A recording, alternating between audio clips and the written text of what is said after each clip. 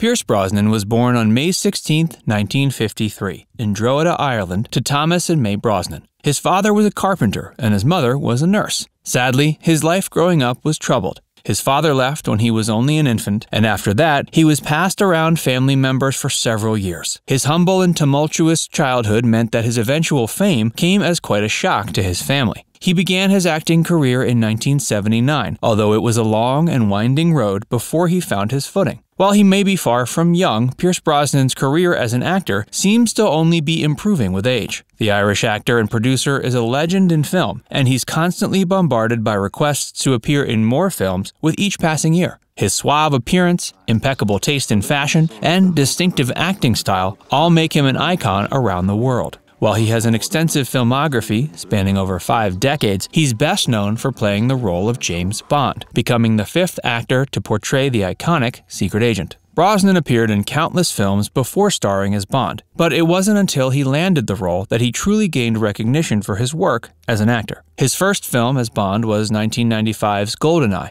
which was a commercial success. It grossed $350 million worldwide and made Pierce Brosnan the center of attention. Critics were impressed by his portrayal of the role, describing him as more psychologically complete than previous interpretations. After GoldenEye, Pierce portrayed James Bond in three more films. Tomorrow Never Dies, The World Is Not Enough, and Die Another Day. Of course, between those films, he was endlessly busy with other roles. Luckily for Pierce Brosnan, his career still had plenty of momentum, even after his contract for the James Bond films ended. Even though he's well into his 60s today, he shows no sign of slowing down his film appearances. While everyone loves to talk about his career successes, however, there's a lot more to this man than his role as the suave secret agent. In today's video, we're going to look at the interesting history behind his career. Make sure you stick around because we're also going to reveal his surprising early work as a circus performer.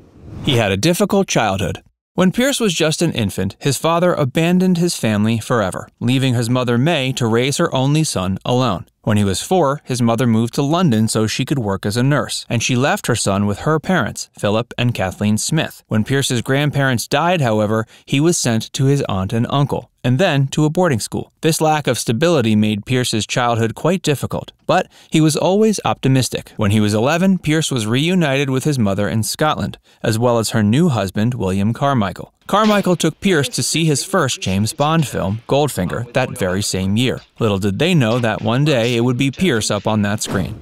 He used to be a circus performer, Young Brosnan tried to find his way in life when he was 16. He dropped out of high school and began attending St. Martin's School of Art, where he began to study commercial illustration. He didn't feel entirely enamored of that particular career path, however, and he searched for something more in life. He found a new inspiration when he met a fire eater training people at a workshop. Pierce instantly decided to join, and before long, he found himself performing for the circus as a professional fire eater himself. Brosnan eventually took his act to the streets when he was scouted by a circus worker who saw potential in him. He sent Brosnan to a drama center where Brosnan would then train for three years.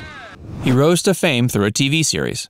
Brosnan graduated from the Drama Centre London in 1975 when he was 22. He made his debut as an actor in the play Wait Until Dark. Just six months later, he was handpicked by legendary playwright Tennessee Williams to play McCabe in the debut of his play The Red Devil Battery Sign. From there, Brosnan's career took off. He became a hotshot in America when he was cast in the TV series Manions of America, where he played the lead role. He grew even more popular for acting in the NBC series Remington Steele. After that, he appeared in various TV shows and films, including Mrs. Doubtfire, Victim of Love, and Night Love. Of course, while Pierce was relatively popular as an actor, the best was yet to come.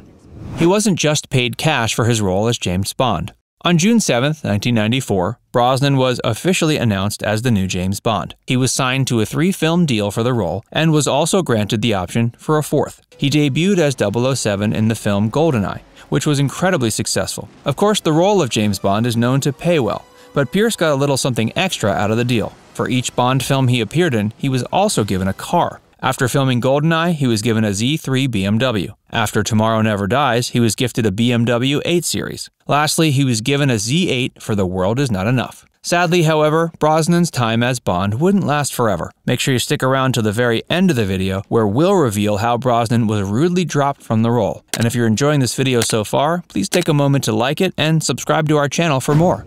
He isn't just an actor. While Pierce has garnered critical acclaim for his acting, that's far from all he's accomplished. He's worked as a film producer, and he co funded the film production company Irish Dreamtime alongside his friend and colleague, Beau St. Clair. Irish Dreamtime works to produce both independent and commercial films. The first film they produced was the 1998 film The Nephew. Brosnan has even branched out of the film industry. He's an accomplished environmental activist and has participated in numerous charities and protests to help the environment. He became a member of the board of advisors for the Sea Shepherd Conservation Society, and as a result, the Sustainable Style Foundation named him Best Dressed Environmentalist of 2004.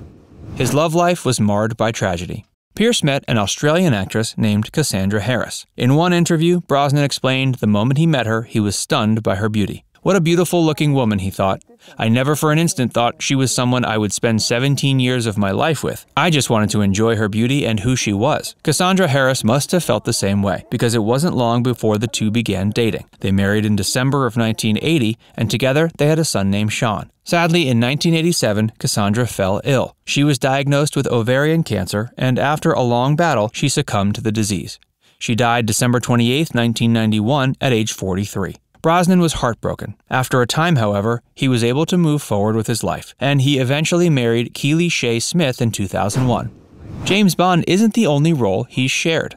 Brosnan has, of course, shared the role of James Bond with eight other actors. However, this isn't the role Brosnan has shared. Surprisingly, while Brosnan and Sean Connery have both played the legendary 007, they have another role in common. Connery played the role of King Arthur in the 1995 film The First Knight. Three years later, Brosnan also played King Arthur in the animated film Quest for Camelot. David Niven is another former Bond actor who shares a second role with Pierce. Both have played the role of Phileas Fogg in the film Around the World in 80 Days. Niven played the character in the 1956 edition, while Brosnan played Fogg in the 1989 remake. He was unexpectedly dismissed from the James Bond role. Brosnan's contract meant he would be playing the role of James Bond in at least three films, with the option for a fourth. After he finished his fourth, Die Another Day, Brosnan felt ready for more. It was a huge shock and disappointment when he learned he was dropped from the role and was later replaced with a new actor. Thankfully, Brosnan's career hasn't suffered one bit. And while it's unlikely he'll ever reprise his role as Bond, he's got plenty of other work to look forward to. Pierce Brosnan has accomplished so much more than playing the role of James Bond. Were you more surprised to learn about his time spent as a fire eater or about his knack for painting? Let us know in the comments below. And don't forget to subscribe to Facts Verse for more.